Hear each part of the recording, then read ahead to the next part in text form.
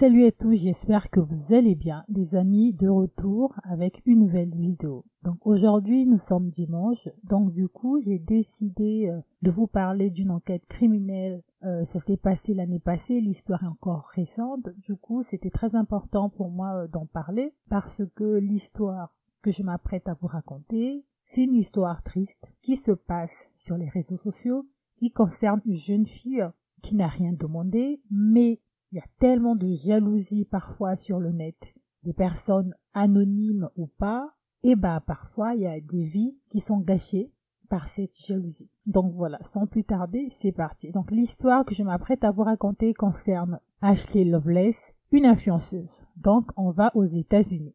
Ashley Lovelace est née en novembre 2002 en Pennsylvanie. Elle vit avec sa famille.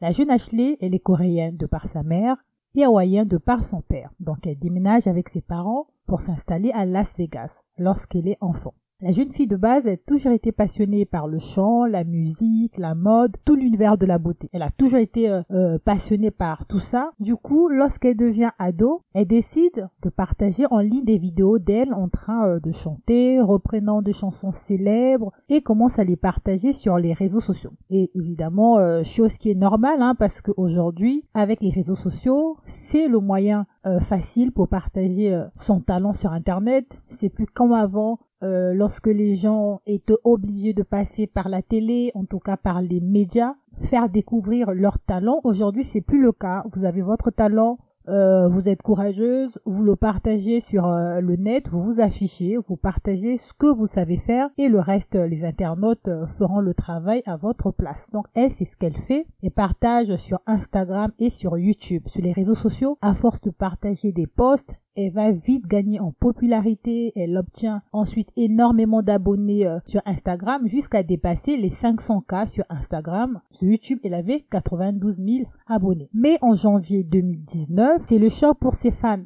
lorsqu'ils apprennent cette nouvelle tragique que Ashley Loveless s'est donné la mort.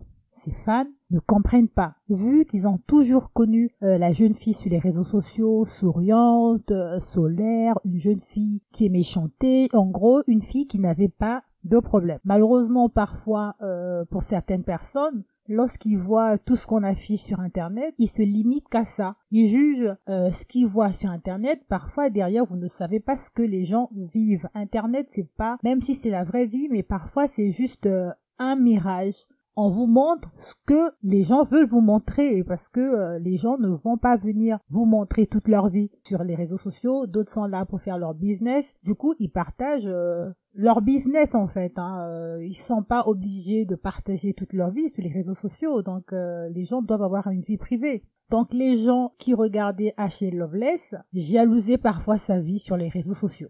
La raison de sa mort, c'était un suicide.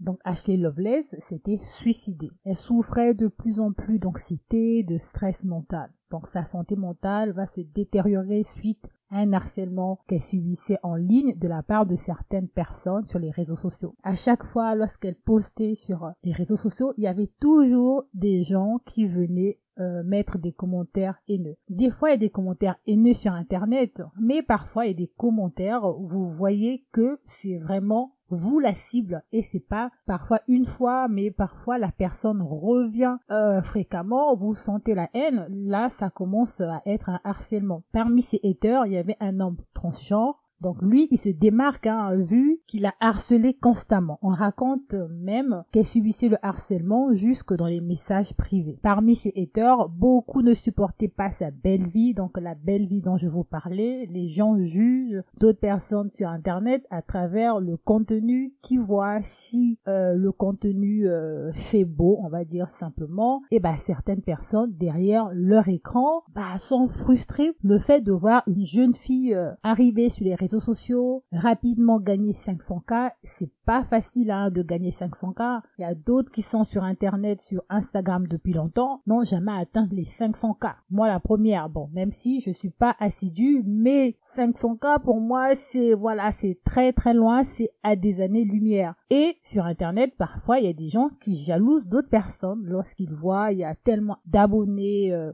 euh, les marques, tout ça, parfois, il y a d'autres personnes qui ne supportent pas ça. Donc les gens jalousaient sa belle vie, on guillemets sa belle vie, parce que comme je l'ai dit, euh, ce qu'on voit sur internet, c'est pas forcément euh, la réalité. Donc jalouser sa beauté, sa popularité. À force d'être continuellement harcelée, elle va se tuer d'une balle dans la tête, d'après certains sites américains. Après son décès, les fans de la jeune fille apprennent que Ashley Loveless, de base, hein, elle souffrait euh, d'anxiété. Donc, d'après ce qu'on raconte, ça lui est déjà arrivé de s'automutiler sur ses avant-bras. donc, l'harcèlement en ligne aurait aggravé encore plus sa situation. En fait, en faisant le billet euh, d'Ashley Loveless, moi je me suis rendu compte, euh, j'ai pas mal vu d'histoires tragiques comme celle-ci et euh, je me suis souvent posé la question à savoir est-ce que si l'on n'est pas bien mentalement, donc là j'entends par là qu'on a des problèmes d'anxiété, de stress, de dépression ou soit d'un manque de confiance en soi, d'angoisse, est-ce que on peut s'exposer sur le net? Dites-moi ce que vous en pensez. Moi, personnellement, je n'ai pas la réponse, je ne vis pas ces situations, mais j'ai remarqué quand même, il y a beaucoup de personnes sur le net, comme je l'ai dit plus haut, qui étaient vraiment frustrées de voir des personnes, euh, d'autres personnes euh, s'élever sur le net. Du coup, leurs frustrations vont parfois les pousser à détester d'autres personnes sur le net qui ne connaissent même pas ne connaissent pas ces gens, ne sont jamais vus ni d'Adam ni d'Ève, mais il se transforme en hater compulsif. Alors je ne sais pas si cette expression existe, mais c'est une réalité, j'ai remarqué. Est-ce que ces personnes, anonymes ou pas, sont conscientes parfois qu'elles peuvent faire beaucoup de dégâts?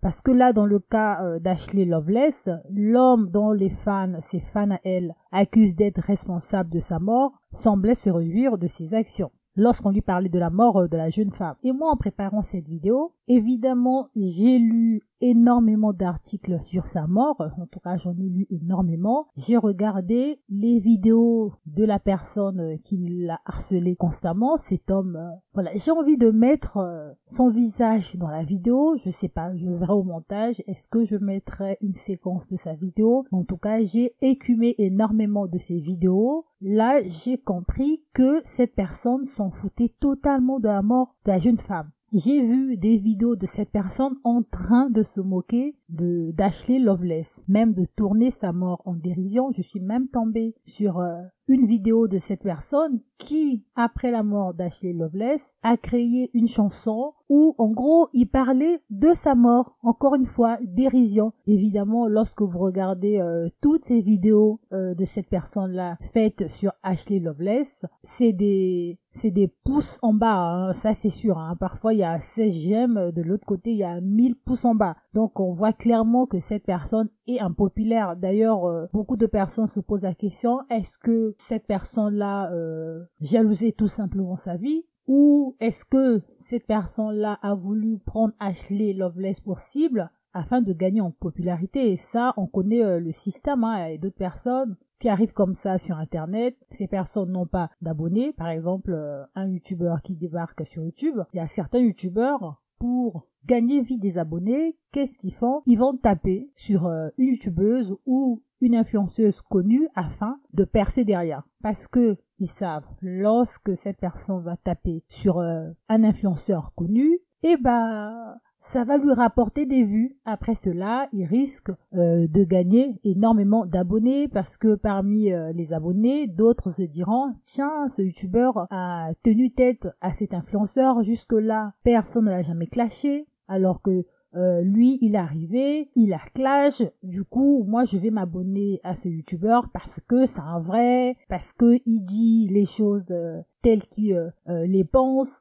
voilà. Il gagne en popularité. Donc il y a d'autres personnes qui se sont posées la question est-ce que cet homme-là qui a harcelé Ashley Loveless, est-ce que c'était pas dans le but euh, de gagner des abonnés, de faire du buzz parce que cette personne est impopulaire? Donc voilà. Après moi ce que j'ai remarqué encore une fois toujours sur internet parce que Ashley Loveless c'est juste un exemple de ce que j'ai pu voir par-ci par-là sur euh, internet comme je l'ai dit j'ai aussi constaté je vais pas euh, donner le nom de ces youtubeurs il y a deux youtubeuses bon je les suis pas mais de temps en temps euh, il y a une qui fait la cuisine il y a l'autre qui est dans la beauté. Je les suis pas, mais de temps en temps, YouTube me suggère leurs vidéos, je regarde, et parfois, lorsque je regarde les commentaires, il y a une, c'est youtubeuse, donc euh, comme je l'ai dit, qui fait euh, de la nourriture et tout, mais cette youtubeuse, une fois, elle va montrer sa maison, donc elle va faire un home tour. Hein, c'est pas un truc grave, hein, euh, ça se fait souvent aux États-Unis. Évidemment, les choses qui se font aux États-Unis, après ça arrive en France, donc euh, c'est une routine.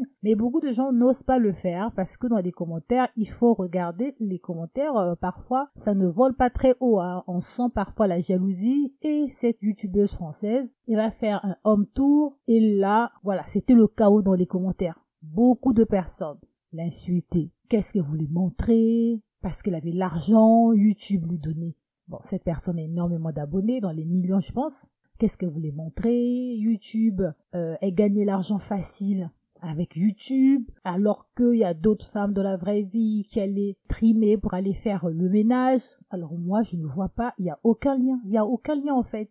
Euh, faire les vidéos déjà sur YouTube, c'est un travail, hein, c'est un travail, c'est pas, c'est pas facile, c'est vraiment, euh, voilà, c'est un travail de plusieurs heures, c'est un travail. Mais moi, je ne vois pas le lien. Elle, elle fait un tour, et déjà dans son home tour, c'était pas toute la maison qu'elle montrait, hein, c'était juste euh, des parties. Alors je vois pas pourquoi venir euh, l'insulter, euh, limite la harceler parce que elle a fait un home tour. Pourquoi? Parce que les personnes ont vu le nombre d'abonnés, du coup automatiquement ils se disent celle-là a beaucoup d'argent, qu'est-ce qu'elle veut montrer? Du coup on commence euh, à l'insulter et le commentaire là, fallait voir, euh, il était liké par beaucoup de personnes. Donc on voit que il y avait beaucoup de personnes qui étaient du même avis que cette personne. Moi j'étais choquée. Dites-moi ce que vous en pensez, mais j'étais choquée. Moi quand je vois une personne qui a beaucoup d'abonnés, qui vit de sa passion, qui a maintenant l'argent, moi je suis heureuse pour cette personne. Moi cette personne m'inspire, même si je fais pas forcément ce que la personne fait, mais c'est une inspiration. Je me dis waouh, la personne est partie de rien, la personne euh, a gagné beaucoup d'argent parce que la personne a travaillé déjà sur YouTube. Il n'y a pas de miracle dans le sens euh, si vous gagnez des abonnés sur YouTube, arriver à un million, c'est que vous avez travaillé. Euh, YouTube ne favorise pas euh, les gens en disant que bon, je vais favoriser tel profil. Bon, après voilà. Entre temps, il y avait une histoire des contenus des youtubeuses noires qui étaient mal positionnées sur YouTube par rapport à l'algorithme. Bon, ça, c'est un autre sujet. Voilà, ça, c'est un autre sujet. Ça, je l'ai lu dans des articles, mais j'ai pas vraiment euh, creusé le sujet pour voir euh, ce que disait vraiment euh, cette histoire-là. Donc, je vais pas rentrer dans le sujet, mais YouTube ne favorise pas telle personne en disant bon tiens, cette personne a 100 abonnés, on va la mettre à 5000 abonnés parce que cette personne a du potentiel. Non, hein, c'est pas ça. YouTube, euh, c'est pas ça. Vous gagnez euh, les abonnés avec votre travail, votre contenu, c'est ça. Donc, euh, je ne vois pas pourquoi les gens viennent insulter parce que la personne gagne de l'argent. Bon, ça c'est ce que j'ai remarqué hein, souvent chez les chez les francophones. Hein, ce que j'ai remarqué surtout en France, quand tu as beaucoup d'argent, faut pas le montrer. Faut pas le montrer parce que c'est pas bien c'est pas bien, je sais pas si la réussite est mal perçue en France, mais c'est ce que j'ai remarqué. Après, c'est pas une généralité, mais c'est juste ce que j'ai remarqué. Dites-moi ce que vous en pensez. Est-ce que vous, avez fait le même constat? Mais en tout cas, moi, c'est ce que j'ai remarqué. C'est le constat que j'ai fait. Donc voilà. Pour clôturer ma vidéo, Ashley Loveless est morte à cause du harcèlement. Donc de base, elle souffrait euh, déjà euh, du stress, euh, l'anxiété, du coup arrivé sur les réseaux sociaux avec les commentaires haineux qui revenaient à chaque fois. Euh, c'était pas du genre des commentaires où on dit euh, tiens c'est moche et tout, mais vous sentez la haine dans certains commentaires et ces fans euh, accusent donc cette personne dont je vous ai parlé dans la vidéo être à l'origine de ça. Donc encore une fois, ce n'est qu'un exemple. Beaucoup de personnes vivent ce quotidien, hein, les influenceurs qui s'affichent sur Internet et en même temps qui ont beaucoup d'abonnés, euh, voilà, il y a toujours des haters. Mais après, des haters de temps en temps qui peuvent laisser les mauvais commentaires, mais il y a d'autres qui reviennent en force constamment jusqu'en privé. Ça, franchement, j'ai du mal à comprendre ça. J'ai du mal à comprendre ça. Franchement, euh, voilà, j'ai pas envie de comprendre, mais franchement, euh, je suis toujours choquée d'avoir cette haine-là. La personne ne vous a rien fait, la personne ne vous connaît pas, la personne partage euh, son contenu, mais la personne qui est derrière l'écran ne supporte pas, ne supporte pas et se met à harceler jusqu'en privé. Franchement, c'est un mystère que je ne comprendrai jamais. Dites-moi ce que vous en pensez. Donc euh, aujourd'hui, H.L. Loveless est décédé. Euh, son compte Instagram, sa mère euh, ne l'a jamais euh, clôturé. Il est toujours euh, en ligne, même s'il n'est plus actif. Il est toujours en ligne et son compte actuellement compte plus de 500 000 abonnés. Dites-moi en commentaire, est-ce que vous connaissez cette histoire-là? C'est une histoire tragique, franchement, ça m'a fait... voilà, j'ai été triste pour sa famille parce que c'était une jeune fille de 16 ans qui était belle, évidemment, qui aurait pu peut-être avoir, voilà, un bel avenir. On ne sait jamais de quoi l'avenir est fait, voilà. Mais en ligne, les réseaux sociaux, la vie, on a décidé autrement. Donc voilà les amis, c'était tout pour moi. J'espère que vous avez apprécié cette vidéo. Moi, je vous souhaite une bonne soirée, une bonne journée. Ça dépend à l'heure où vous allez écouter cette vidéo. Je vous dis à la prochaine. Bye